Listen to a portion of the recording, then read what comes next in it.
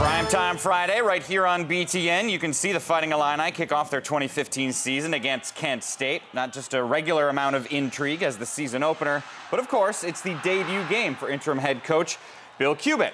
So let's bring in Coach Cubit now, joining us from Champaign. And Bill, what was your message to the team the first time you addressed them once you found out you'd be the interim head coach? You know, basically, we got to rally around each other uh, and and focus. Don't don't look at the pro, uh, don't look down the line. Process each day. Uh, understand what we got to get done each day, and just get ourselves better and get ourselves ready for tomorrow night. How is the atmosphere around the team different now that you've been there for a week or so?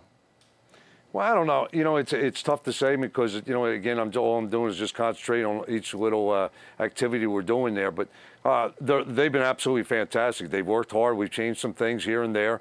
Uh, they've uh, they've bought into what we're trying to do. Uh, but they're ready to play. I mean, there was there was a great group before, and there's and that group is still great. Let's talk about some of your players that you have this year. What makes Wes Lunt special? Well, right now he really understands the offense. Last year uh, he was a guy that was trying to fight for the position. He got the position, but really didn't have any uh, history on being a leader because he, you know, in his mind he didn't think he was playing, uh, and so he he went to buy, buy into it first, get himself involved, and then become a leader. He understands the offense. He's just directing everything. He's like a coach in the field. Uh, totally different than he was last year, getting rid of the ball a lot quicker because he knows where everybody's going to be. And he's also a coach on the field and helping our guys understand where they have to be. You had this fella last year named Dudek, who was pretty darn good at the wideout position. What's the latest on his health, Coach? He's really looking good. You know, I, I don't know what the prognosis is. Okay, when he'll be coming back.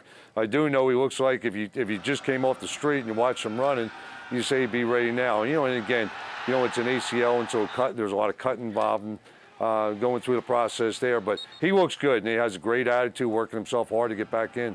But there hasn't been a change on when he could be back? No, you know, I think it's it, we're going to get him back when he's ready. Uh, we're not going to rush him back. Uh, it doesn't make any sense. And when the doctors tell us he's ready to go, that's when he'll go. Kent State is coming up, your first opponent on Friday evening. What's your biggest concern about them? Really, you know, and, and no disrespect, you know, I respect every opponent that we've ever played, and I tell our guys that you got to understand that.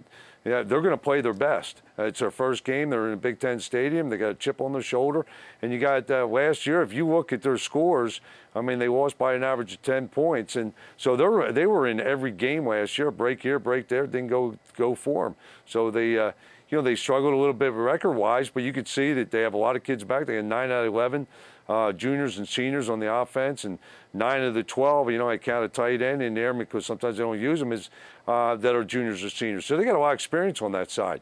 And in the MAC, I've, you know, I've been there a long time. Experience makes a big difference in that league. And if you go out there and you have that, you have a better, a better chance of being successful in that league. And that's what I'm telling our guys. What's your biggest concern for you specifically? You've been a head coach before, but you had more than a week to prepare for it. So, what's your biggest concern about your role on Friday? Well, thank goodness, okay, I did have that experience. And, uh, and like I tell our kids, I think uh, pressure is only if, if you don't prepare. Uh, you know, I haven't got much out, much sleep. You know, it's been uh, three, four hours a night. you know, you don't have much time to eat. Uh, you spend a lot of time just thinking about all the ifs, ands, or buts. But uh, fortunately, I had that. Uh, I had that experience. I've also been under some pretty good people, Larry Smith and you know, and Coach Faust and Galen Hall and you know, Buddy Teevens at Stanford, and you know, so uh, Gary Darnell, Western. I've had some really good people around me that I've learned a lot for, so that's really helped out with the preparation. Is it going to be more fun on Friday because you'll be the head coach instead of the coordinator? Well, I'm going to let it rip. You know, I'm going to have fun. You know, at this time there, I, I got, I got no choice. But uh, you know, I enjoy football. I enjoyed it, these kids. I enjoyed this university. So when you, uh, when you have a good uh, working environment that you know that I see, it, uh, it, it, just makes it a lot easier. So uh, our kids are going to have fun. We're going to have fun. Fans are going to have fun, and we'll go out there and we'll give it our best. All right, and you'll get some sleep in December, right? Bill Cubit, head coach yes, of the sir. Fighting Illini. Best of luck on Friday against Kent State. Thank you. I appreciate it. Chuck, what'd you take away from that? Well, he has head coaching experience, which will help him, and he's had no sleep. So his plate has obviously gotten bigger, and uh, that's what happens when you're a head coach.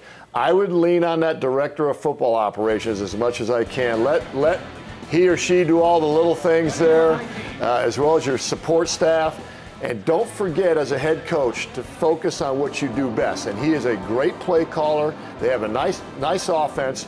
Don't disregard that. Don't get away from that do all those other little things that, that your head coach has to do. Don't forget that. That's going to be key for Bill Cubit.